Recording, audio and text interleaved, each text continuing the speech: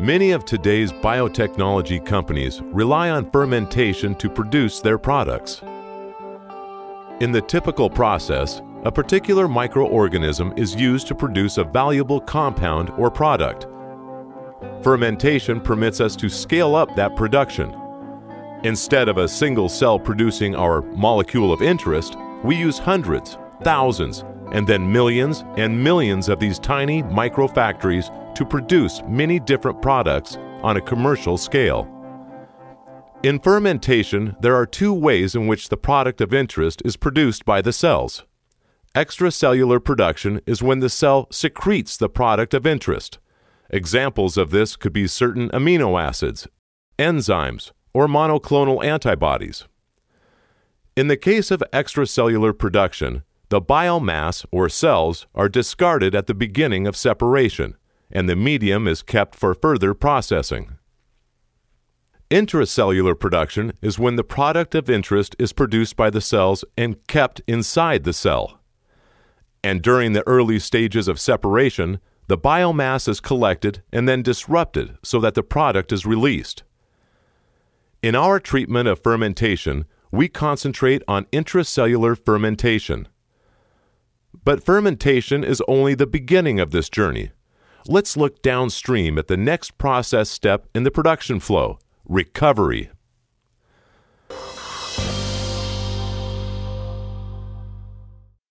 The final product of fermentation is called broth.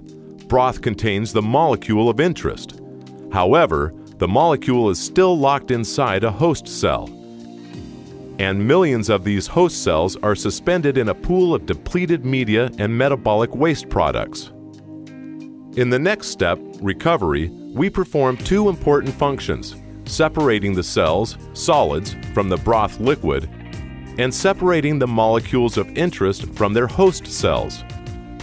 Exactly where within the production flow those technologies are employed varies significantly from product to product. Recovery processes commonly use a variety of tools such as centrifuges, cell disruptors, and microfiltration to isolate the product. In this program, we are going to look at a typical recovery process used in the manufacture of GFP, green fluorescent protein. GFP is broadly used as a biological marker, which, if attached to a drug, could provide researchers with a visual story of where the drug goes. It's a fluorescent dye that's very well tolerated by most cells and doesn't interfere with normal cellular function. So, how does recovery work, and how does it fit into the total production flow? Here's a very basic overview. After fermentation is complete, the broth is harvested and sent to recovery. Here, the E. coli host cells are separated from the liquid broth, then suspended in a new solution to wash the cells, separated again, resuspended in a new solution, homogenized to break open the cells, the cell debris is removed. Once recovery is complete, the product is sent to purification to be refined and concentrated.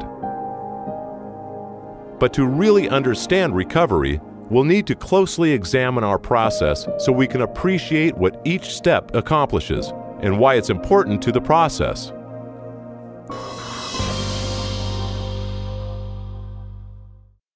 Let's start with the tools we'll use in the green fluorescent protein recovery process.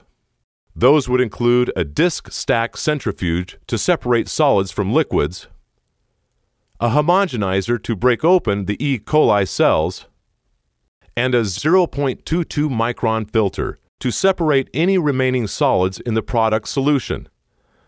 Our materials include the broth from our fermentation process, high purity water that has been reverse osmosis filtered, deionized, and UV sterilized, and a buffering solution to help stabilize the pH of our product and keep it in suspension and prevent the product from degrading.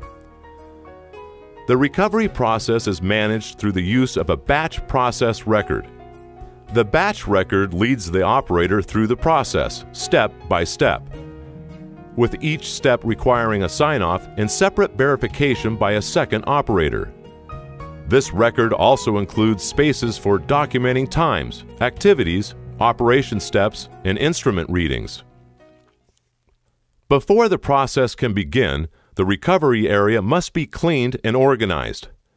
Any unnecessary equipment or materials should be removed, and the area must be cleaned and disinfected to decrease the level of microorganisms. All equipment must be cleaned, sanitized, and set up as required by standard operating procedures. All required materials and documentation must be gathered and prepared and any updates to the process control software should be made and verified.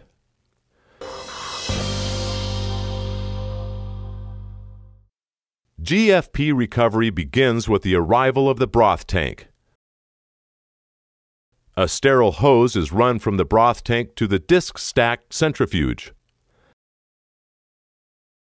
And the tank is pressurized to drive the broth into the centrifuge. After the centrifuge has reached a stable running speed, the inlet valve is opened and broth enters the bowl. The centrifugal force of the rotation forces the denser material, the solids, to the sides of the bowl, much like the spin cycle on your clothes washer, while the liquid flows through and out of the centrifuge. As more broth enters the bowl, it displaces the now clarified, solids removed, liquid to the top of the bowl where it exits, while the cells continue to build up on the bowl surface. The centrifuge has an integrated RPM monitor. If the unit is not rotating at a stable running speed, the controller will alarm and shut it down. The liquid leaving the bowl is known as the clarified stream because almost all the solids have been removed. A sensor monitors the clarified stream for percent solids. When this value rises, it indicates that the bowl is at capacity and the solids must be removed before processing more broth. The solids are the E. coli cells, and they contain the product. When the bowl has reached capacity for solids, the bowl opens and the solids are discharged into an appropriate container for collection. Once the solids are discharged, the centrifugation step can resume, while the clarified liquid is waste. At this point, the cells are in a paste form, and although most of the liquid has been removed, our cell paste is still about 40% liquid by weight. The remaining liquid contains high levels of metabolites and salts that could complicate downstream processing, so we're going to lower those levels by washing the cells. The cell paste is suspended in a buffered solution and then run through the centrifuge again. As the clarified liquid leaves the centrifuge this time, it carries many of the contaminants from the fermentation step with it. The cells, once again in paste form, are ready for the next step cell disruption, also called lysing. The cells are resuspended in a buffered solution and then pumped at high pressure, 900 bar, which is about 13,000 pounds per square inch, through the homogenizer. Inside the homogenizer, they are forced through a tiny orifice. Just like a balloon being tightly squeezed, the cells can't take the stress, and they rupture and break apart. And to ensure that all the E. coli cells are ruptured, the solution is cycled through the homogenizer a second time. After the second homogenization, the lysed cell solution is pumped back through the centrifuge. But this time, our goal is different. Before lysing, our product was held within the E. coli cells. Now, with the cells broken apart, the cell contents, including cytoplasm and green fluorescent protein, are mixed into the buffered solution. The centrifuge again spins out the solids, which are primarily cell debris, and it's the clarified liquid which contains our product, GFP. This time we discard the solids and keep the liquid, which is now known as lysate. Although the centrifuge has removed almost all of the cell debris, some small particles still remain. We'll remove those with our final recovery process step, filtration. The centrifuge lysate is pumped through a 0.22 micron filter. This filter is fine enough that it removes virtually all of the remaining solid materials. At this point, the process stream is referred to as clarified lysate. The recovery process is finished. The clarified lysate is pumped into a vented, temperature controlled transfer vessel. This lysate tank then moves downstream to the next series of process steps purification, where dissolved impurities are removed from the GFP solution and GFP is subsequently concentrated and stabilized.